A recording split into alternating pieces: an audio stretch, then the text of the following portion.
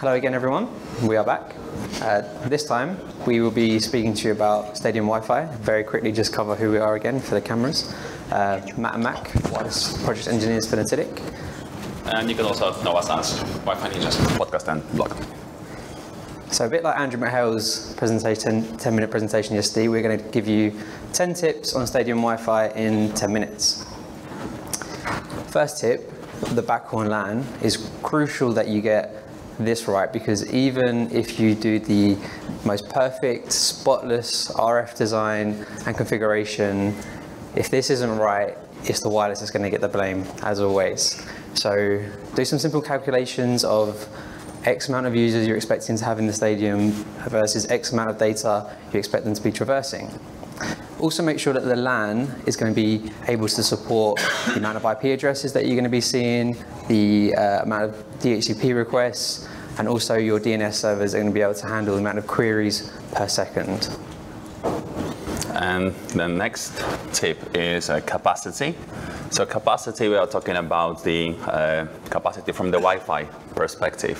So how many users during the game will really connect to your Wi-Fi network. So statistically, around 60 to 70% of users will connect to the Wi-Fi network during the game, and they will connect just one uh, device. So for every 100 users, when you think about 60, 70 users connecting to your Wi-Fi, that's what you will have in mind while scoping the capacity and designing for it. Okay, uh, so moving on to mounting, there's a few different options when it comes to stadium Wi-Fi mounting. Uh, usually you want to try and aim from shooting from above, uh, sometimes people will shoot from behind, or sometimes people will use rails, or there are options in some cases that you can do under seat mounting. Um, but we, what we recommend is that you go around on what we call a, a, pen and paper survey. So that could be when you go around with like an iPad and the floor plan and you uh, really start to get a feel for the floor plan and for the stadium and you start to look at the infrastructure and think, oh, where would I like to mount access points? Um, where am I going to put the antennas to be aiming at the different amounts of seats for people? Um, and we think that's really important because it plays into our next tip, uh, which Mac covered around the cabling. Yeah. And that's very important to engage the facility guys, uh, knowing the stadium inside out as early as possible. Because really what we want to avoid here is a situation where we spend weeks or months designing the Wi-Fi network for a stadium and you know it's a very time consuming process because you have hundreds of access points if not if not more. And all these access points they're mounted in uh, weird not accessible locations. Sometimes they are like you know 20 meters above the ground, sometimes they are like hidden in the infrastructure. So you might spend this time time designing your perfect Wi-Fi network, hand it over to facilities, and then they will come back, oh, sorry, Mike, but by the way, 90% of your perfect access points locations, they are not practical from our perspective, so you have to do your design again. So the tip from here is engage the facilities as early as possible during your pen and paper survey. Uh, so that leads us on to our, our next tip. Um, depending on which vendor you're going with, uh, access points, usually the vendors will have a best-in-class access point or even like a professional version which is aimed for stadiums. Now we recommend that you go for the best-in-class possible because these access points are going to have better silicon inside it, better chipsets. They're going to be able to handle the capacity, the amount of clients that are going to be going through it a lot better than potentially some of the entry or mid-level access points. Yeah, and a very important point, the antennas. So with Wi-Fi Stadium, you have to really be extremely focused on efficiency, reusing the RF spectrum, uh, making the CCI or CCC, whatever we call it, um, as minimized as possible. We don't want to cover entire, you know, stadium with every access point. We want to only cater for very limited locations, small areas with the users while having on mind the capacity that we want to achieve. So normally we would use the high gain directional antennas, like try to imagine antennas shooting from above, shooting down, creating like a beautiful cone of coverage, uh, focusing on users underneath them, but without creating too much contention. So sector antennas, patch antennas, some vendors, they have dedicated stadium antennas, which probably would be a good idea to use here. Okay. Uh, which takes on to our next tip, the RF tuning. Um, if you start with 5 gigahertz here, we recommend that you use the full 5 gigahertz spectrum available to you, even if you are in an area that is affected by DFS.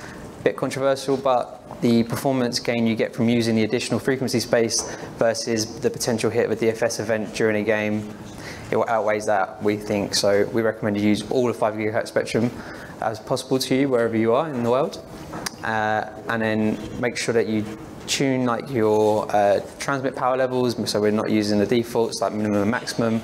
Like Mac said we want to be aiming at certain sets, sets of seats so we want to try and control that rf with our um, power levels. Uh, make sure the data rates are not left on the minimum minimum data rates. So we recommend that you tune them up a bit as well so people need to be closer to the access point or antenna to be able to connect. Um, Another thing for the RF tuning for you guys to think about here is 2.4. It's not dead, you can still use it, but careful planning. Is it going to be a big open space? We will need to turn off some of them radios, but with it being a stadium and the fact there's going to be tens of thousands of clients coming along to the stadium potentially, that there's going to be some 2.4 clients and we can use some of them 2.4 radios to get them on the network.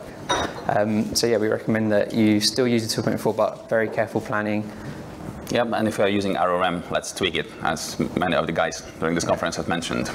Yeah, plenty of tips on that already. okay, and then security and, and rogue APs. So how do you secure your stadium Wi-Fi?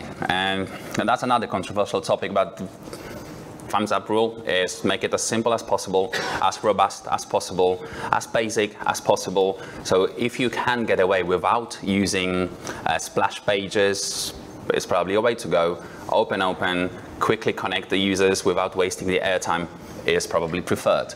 If, however, your InfoSec team is very serious about displaying the terms and conditions and is required by law, then keep your splash page very simple, very light, uh, quick to load, uh, but if possible, don't use it at all.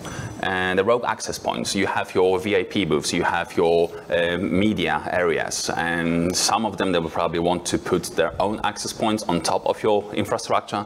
It's not a good idea, so the goal is here to use your own network that you have ultimate control over it and um, without adding any more contention. Uh, so rate limiting, we never recommend that you rate limit anyway, but especially not when it comes to stadium Wi-Fi. The whole point here is we want to get people on and off the network as fast as possible. So um, we did a very good podcast with Jim Palmer quite recently where he speaks about that famous airport that no one knows where he works at. um, and he talked us through when they enabled rate limiting on the airport Wi-Fi and what that did to not only like the channel utilization but the bandwidth utilization, how they nearly maxed out their pipe. So um, if you want to know a little bit more on that, maybe head back to our podcast with Jim and I'll give you some more information. But do not enable rate limiting at your stadium. And last but not least is the analytics assurance monitoring of the Wi-Fi network during the game. So you might have spent weeks designing your perfect Wi-Fi network and in your head it works perfectly, but you won't know until the game happens. So it's very crucial and important to know exactly what is happening during the game, of course. So what you want to, to focus on is the load of your network. Is your pipe being overutilized? How many clients per access point are associated? Is the spread between the access points fairly equal? If not, is there anything that we can do about it? Uh, what is the uh, channel utilization of the access points? Uh, if you have a good mm, split between 2.4 and 5 uh, gigahertz, are all the associations successful? If not, what happens? Is everyone affected? It's just a couple of devices affected. Are all the areas um, served by the access point? All access points are green. Maybe are some, some of them they are, they are down. You really want to, to see all the statistics and they would help you to make educated decisions during the game, which might improve the quality of the Wi-Fi network that you are giving to your customers. So analytics is important.